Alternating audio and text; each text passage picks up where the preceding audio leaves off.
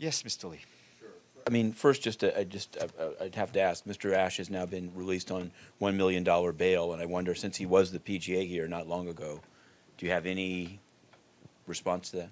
No, I I think the, the judicial system seems to be going, uh, going through its uh, process. I think the Secretary General spoke to his uh, shock and reaction when the, when this was announced, and there's nothing else to add. And I wanted to ask something else that's, that's come up. In, the- in that meeting that was held in Macau in August, uh, one, and there's been some, some outside reporting on uh, the, the Prime Minister of Dominica, Mr. Skerritt, was there, and it's reported in Dominica that some of the South-South cooperation that was discussed had to do with casinos in, by Mr. NG in Dominica.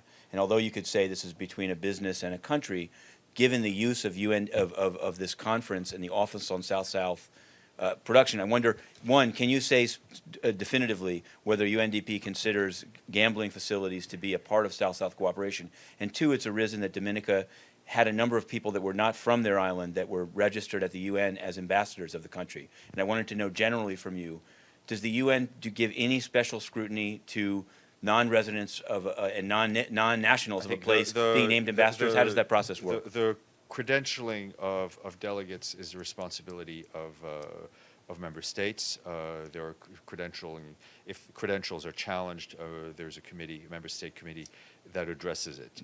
Uh, Obviously, the UN doesn't uh, work or towards investment in, uh, in gambling. Uh, What the prime minister of a member state discusses with a business official is really nothing that I can have any special insight or knowledge about. That's what I'd like to reiterate. I mean, we've, and and Joe has asked it as well, but to, to get this, uh, I guess, still described as new head of the U- Office of I South-South mean, Cooperation. He's still new, yes. I know he's still new, but it's, Yeah. basically, there's written questions that haven't been answered.